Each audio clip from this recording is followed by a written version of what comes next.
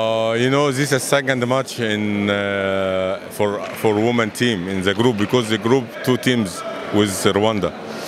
Uh, Kenyan team is have a long time players. The players, some of them is old, but the problem for Kenyan team for for movement, they don't have experience for like our team, and even now our team is grow up and so much.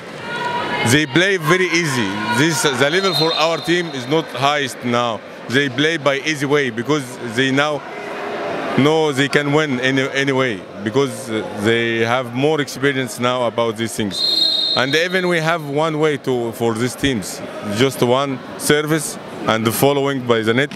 That's all.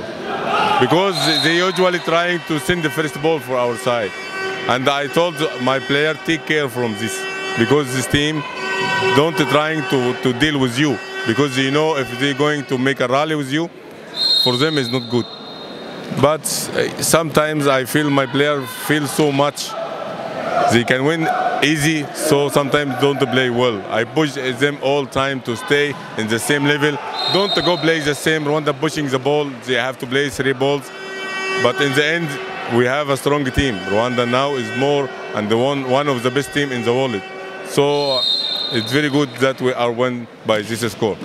Coach, uh, isn't this um, a challenge to you to, to play in Africa with, um, uh, can I say, a small, uh, a small teams when you are preparing to, to go in the world class?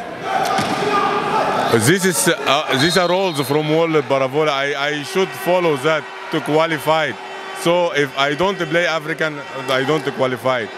But now normally you can find Rwanda now is more stronger than any team in Africa because we are preparing and continue preparing the team. I think now our target should coming higher to think about the next for Paralympic Games to take a good place in the future. And this is what I plan. Maybe African is not lucky because they don't have uh, uh, practice so much time like like Rwandese. But uh, I don't know how the future can happen. But I see now in the future is coming for Rwandan women team. So for us, we have to take this step, and then we can thinking about the next step for high level teams. So you are going to play again, again uh, with Nigeria and Kenya. Tomorrow morning we will play two, two matches. Morning with Kenyan again, and afternoon with Nigeria. Then after tomorrow we're going uh, after two days we go to play the final with the second team should be Kenya. So we'll play against Kenya three times, and against Nigeria two times. So we have to follow the rules, and I hope that the matches, cool matches, will be like this. But I think next match will for our team will be more better and better and better.